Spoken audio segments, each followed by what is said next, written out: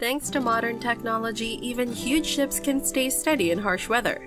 What's more, skilled engineers have designed some ships to flip back upright on their own if they get overturned by waves. Join us as we uncover the incredible engineering behind these technologies and discover how they ensure safety while sailing the wild seas.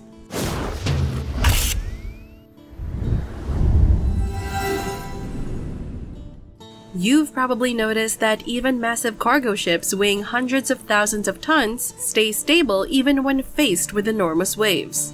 As ships sail on the sea, they encounter various forces and pressures from the waves and wind. To remain safe, all ships are equipped with a stability system, which helps maintain their balance while floating. So no matter how much the ship is rocked by waves or wind, it can always regain its upright position, ensuring its safety on the open waters. There are several devices used to keep ships stable, and one of them is called bilge keels. These keels have a wing or fin-like shape and are fixed on the sides of the ship's hull. They extend about two-thirds of the ship's length, and their stability effect increases as the ship goes faster. Another device for stability is the anti-rolling tank, which is a tank installed across the width of the ship. It helps stabilize the ship when it tilts to the left or right. When the ship tilts, water flows in the tank, significantly reducing the rolling motion. The anti-rolling tank comes in two types, active and passive. The active type uses a more complex mechanism with pumps to control water flow in both tanks. Then there's the active fin stabilizer, which looks like a fin and dampens the rolling or tilting motion of the ship. These stabilizers are installed in both sides of the ship's hull and can move in different directions, controlled by the ship's sensitive gyro system. When the ship rolls or tilts, the gyro system sends a signal to the activating system, which causes electrohydraulics. However, it's worth noting that active fins are not very effective when the ship is traveling at speeds below 10 knots, or about 18 kilometers per hour. Container ships are equipped with an anti-heeling system, which is a servo control system designed to maintain the ship's horizontal position while loading and unloading at ports.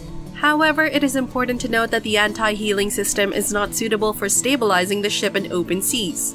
Its purpose is solely for use during port operations when containers are being loaded or unloaded.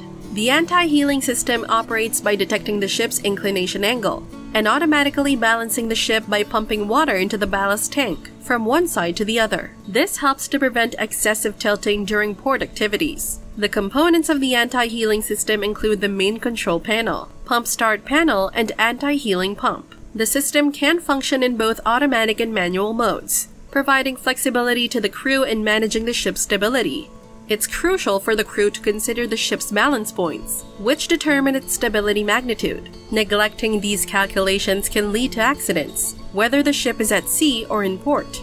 Therefore, maintaining a proper understanding of the ship's stability and implementing the anti-heeling system correctly are essential safety measures for smooth operations in various maritime scenarios.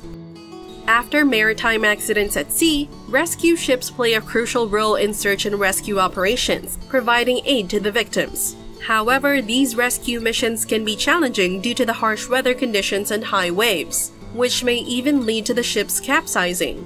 To tackle this issue, engineers worldwide have come up with a brilliant solution rescue ships designed as self righting boats. These remarkable vessels could flip back to their original position even if they are turned upside down by 180 degrees.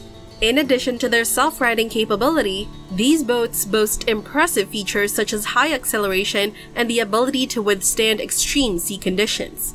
Many companies manufacture such self righting boats with one prominent example being the Royal National Lifeboat Institution, or RNLI in the UK. Several critical elements contribute to the success of self-righting boats in regaining their upright position after a rollover.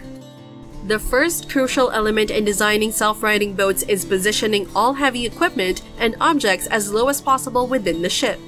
This helps to maintain stability and balance during operation. The second key element involves creating a lightweight yet strong operational and control area for the crew. This space is filled with air to aid buoyancy. The access door for the crew must be watertight to prevent water from entering when the ship is capsized. Self-righting boats are equipped with a special pendulum system to keep water out of the ship's interior. When the boat capsizes, the weights in the pendulum system hang vertically, automatically closing all open sections and preventing water from entering. Moreover, these boats feature an onboard detection system that senses if the boat is capsized. In response, the system protects the boat by shutting down the radar and engines. Once the boat returns to its original position, the radar and engines automatically restart. Inside the boat, crew members must be seated and secured with safety belts to ensure their safety in the event of capsizing. There you have it, folks. The maritime industry has come a long way, embracing innovation to make sailing safer and more secure. These cutting edge technologies are truly the unsung heroes behind preventing even massive ships from sinking. If you found this video informative and fascinating, don't forget to hit that like button and subscribe to Superstructures, and as always, stay tuned for more incredible content.